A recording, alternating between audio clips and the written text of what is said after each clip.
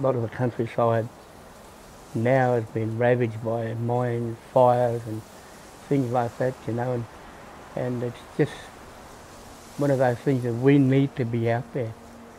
Um, the land, our country looked after us growing up, now it's our turn to look after our country.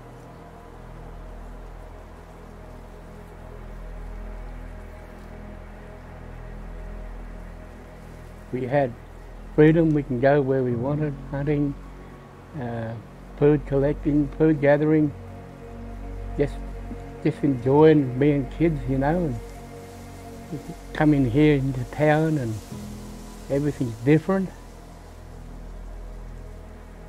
What stopped us from going out? You really want to know? well, just, just sometimes it's Aboriginal Council Land Council, um, you know, and sometimes it's it's other things, but you know, we, we hear different things. Um, and yeah, it makes sad that people are like this and we can't go back out in the country and, you know, just enjoy the day. But a lot of bureau, bureaucrats and bureaucratic procedures and everything like that. Um, just seems to kill off the like the, that moment when you, you go actually go out there and you can feel feel alive again and feel that freedom that you know and, and, and to think that now you're going out you're looking over your shoulders for someone to come and hunt you off you know and um, yeah that's what hurts the most you feel so relaxed when you're out on country the worlds of everything else just goes when you're on country. The worries. It's just such a good feeling.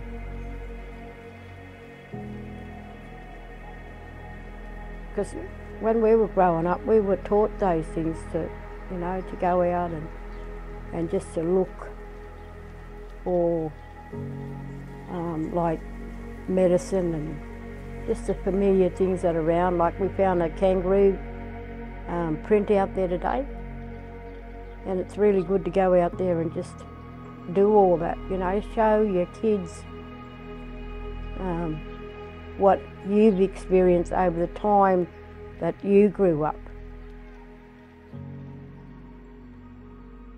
Feeling was just,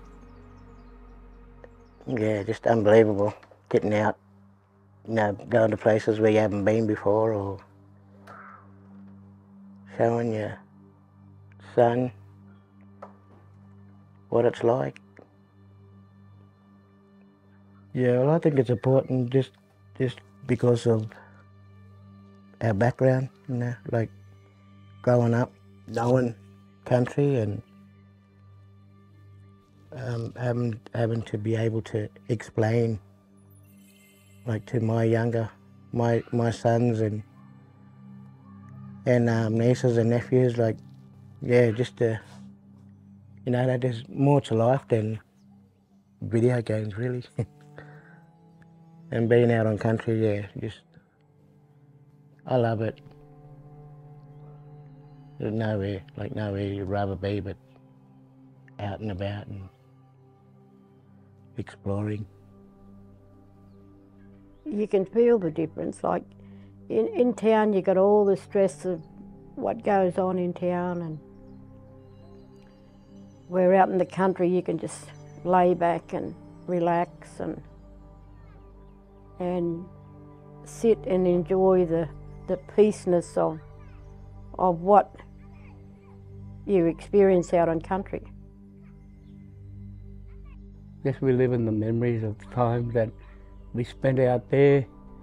They might not seem a lot to some people, but to us, or to me especially, it was it was my way of life, and it still is.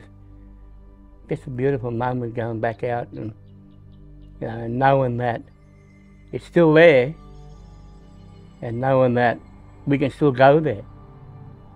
And that's the way we want it to stay that way. Yeah, Don't no don't block it up. Don't don't fence it.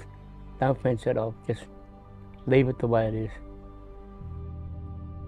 Yeah, it was good. I just wish we can do it more often, like as a group, not just as a group, but as a like family.